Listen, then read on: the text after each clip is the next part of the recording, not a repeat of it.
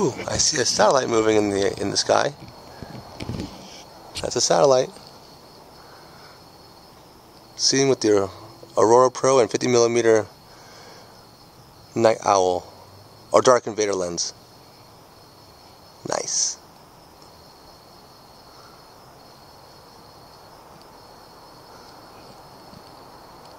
There it goes, about to each edge of the screen. And it's gone. So this is my 50 millimeter dark invader lens on the modified Aurora Pro. And I want you to see how easy it is to look at stars. Ooh, looks like a satellite right there. There's something moving. Satellite.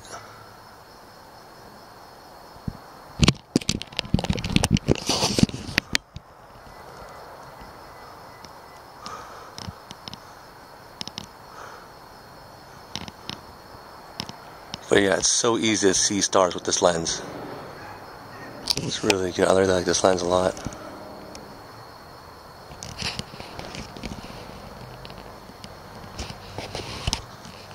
It's a 1.3 f-stop, 50 millimeter, and it seems to let in a pretty good amount of IR light.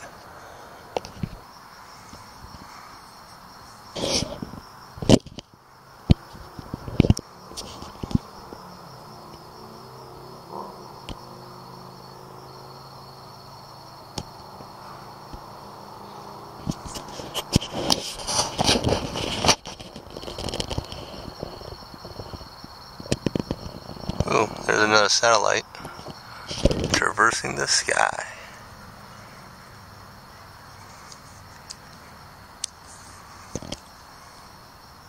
Right here.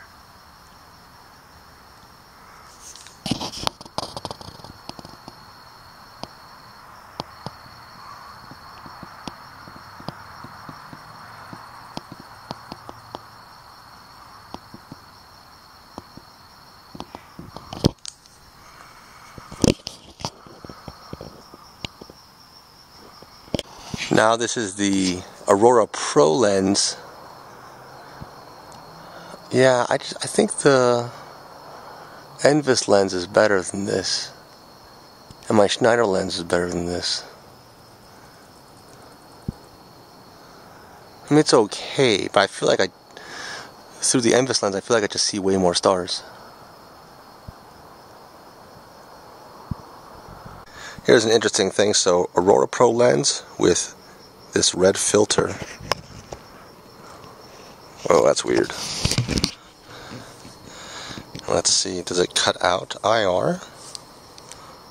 No, it lets IR through. 1064 goes through.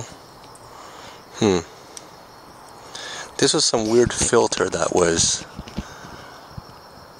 Whoa, I think it's like a low pass filter. I definitely see more stars. And a little bit of the Milky Way. Whoa, I can see, whoa, yeah, Milky Way. Through the Aurora Pro lens, but watch. Oh, uh, yeah, you can sort of see a little bit of that cloudiness. But this makes a big difference. Okay, now we're back on the Envis lens, and I have this filter. It's like a weird red filter. Let's see, how's this going? There we go, like perfect fit. Uh, makes everything like red, basically.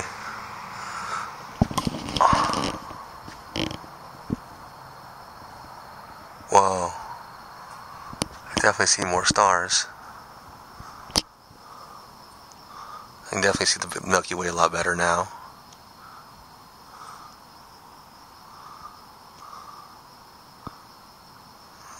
Well, lens flare. So let me try to take this off.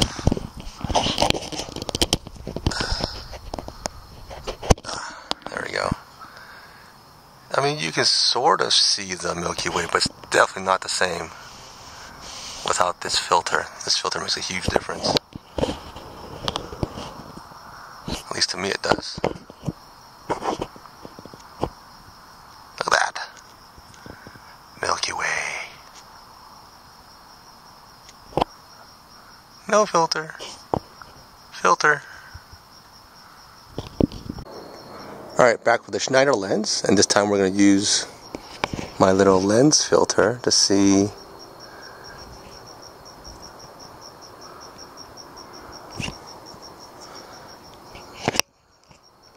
Is it really just a red filter? I don't know.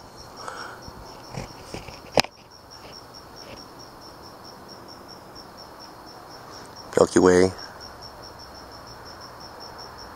through the red filter and then without it yeah you really can barely see that at all and you can sort of okay so you can sort of see the Milky Way right here let's throw this filter in front hmm I don't know. It doesn't make it that much better. Doesn't really seem to help that much to me. Yeah, not really. It's also a really small aperture, so that's a lot of noise is being jacked up a little bit, I think.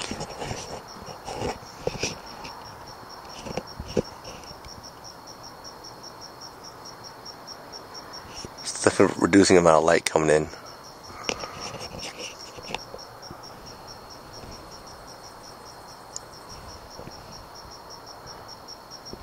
So this is another Schneider lens that I have that has a weird filter on it. Like, you see those lights? They're kind of like reddish. It makes reds really pop. Now if you see the sky is a little more blue, ooh, it's definitely like reducing a lot of light coming in. And then this filter, oof, that's pretty bad. Yeah, that's not that's not great. Makes everything red. Wow, that's so weird. Makes everything red. So something going on with this lens and whatever filter it has. Is it blocking is it blocking infrared light? It's an infrared blocker. Yeah, it's blocking infrared light. Because that thing has infrared this is an infrared blocking okay. Right? Well no. That's infrared. Well, it's clearly blocking some infrared out of this thing. Back again with the Envis lens on the Full Spectrum Aurora Pro. Man, look at those stars. It's so much better than the Aurora Pro lens. Well, what I have here is a LIF filter. So we'll pop it on. Mm, not as good as that red filter that I had. Yeah, because it's only blocking like a certain wavelength of green.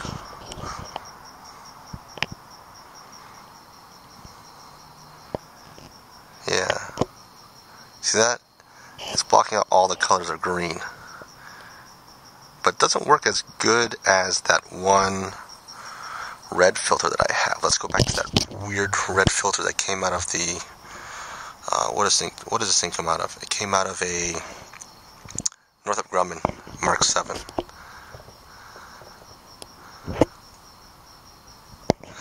It's definitely blocking green to a certain degree, but it seems to be doing a way better job of blocking out green.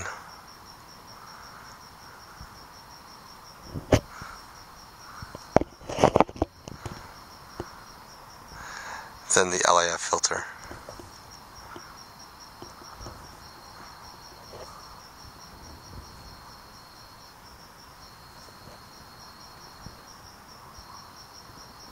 another test of the Envis lens.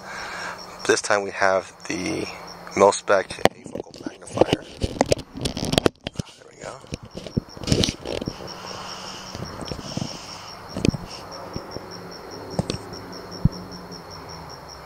Oh look! I can see another satellite traversing the sky. That thing's tiny.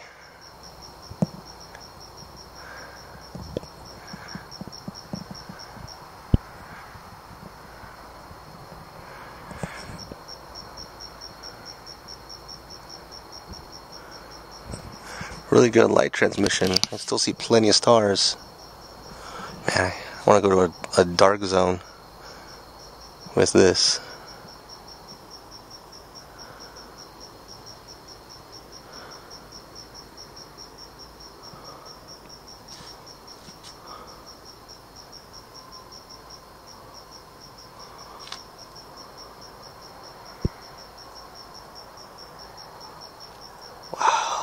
Stars.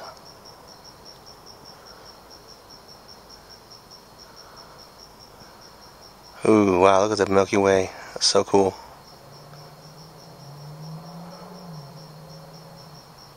All with an Aurora Pro, modified. And a 3X afocal lens. Oh, another satellite. It's really easy to see satellites with this thing.